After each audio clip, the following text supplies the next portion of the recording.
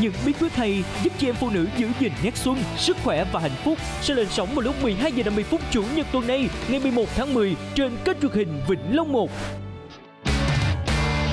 sáng ngủ dậy mặt quẹo đeo à cái chồng em mua cho em một chiếc vòng mà nay ổng mua cho em gần ba chục chiếc mà nó giữ cái mặt khó chịu. Sắp tới đây chị với chồng chị kỷ niệm 25 năm ngày cưới. Tình quá. Dối. Bất ngờ. Đi đâu vậy chị?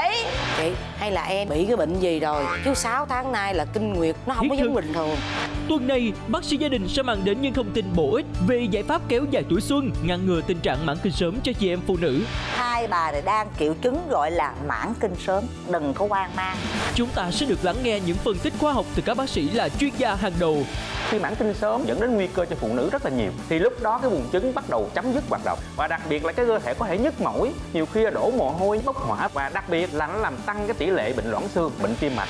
Hãy đón xem chương trình Bác sĩ gia đình với chủ đề Độ tuổi nào được coi là mãn kinh sớm, phát sóng lúc 12 giờ 50 phút chủ nhật, ngày 11 tháng 10 trên kênh truyền hình Vĩnh Long 1.